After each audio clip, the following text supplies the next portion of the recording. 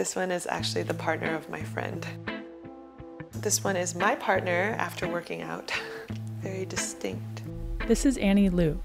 She bottles people's smells. This is one of the first ones that I made of myself. It smelled very animal to me. Even I myself, sometimes when I step back from it, think like, I guess this really does trigger some disgust. But I like it when art pushes the boundaries of what we find acceptable. Ani is a research-based artist. For one of her projects, she is preserving the everyday smells of the people she loves. She wanted to focus on the things we lose when we communicate through screens. I spend so much time in front of my computer coding or building circuits for other projects. I think there was a moment where I was like, I'm a biological being with certain sensory longings. I grew up in Chinatown and there were a lot of smells that were um, very vibrant and lovely and beautiful to me. And then when I first went to elementary school, I had that like classic immigrant moment where people were like, ew, that smells really weird. What is that in your lunch or something like that? And it became really sensitive to what smells right and what smells wrong or what smells acceptable and what doesn't. I think part of this project also came from my being in a long distance relationship for a really long time. I mean, we have a lot of technologies that help with that, like you can call each other on the phone, you can text a lot, but there were certain things that I really missed. This is my husband, I think after sex. it actually brings back really strong emotions.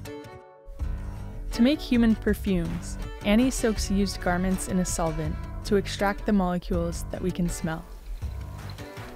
Then she distills the essence of that extraction and mixes in chemicals and fixatives to create perfume. And it really does smell like someone after working out. But why would anyone want that?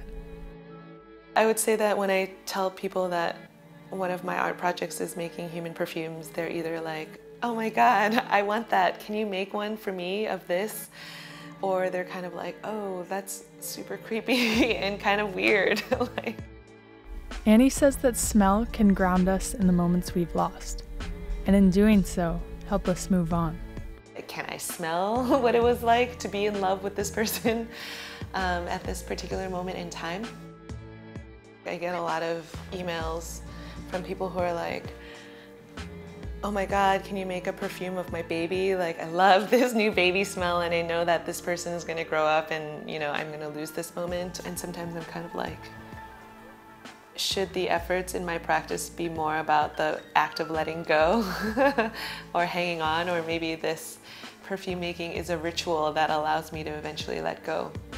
And she says it's not about just reliving experiences. It's also about creating ones. I think a lot of the really exciting things that people talk about, like virtual reality or augmented reality, both you know, centered on the word reality, but only kind of hit on the visual. But there's so many more aspects to being human and some of the best innovations that we have come from accidents and moments where people are allowed to play with their brain and let as many associations collide um, as possible.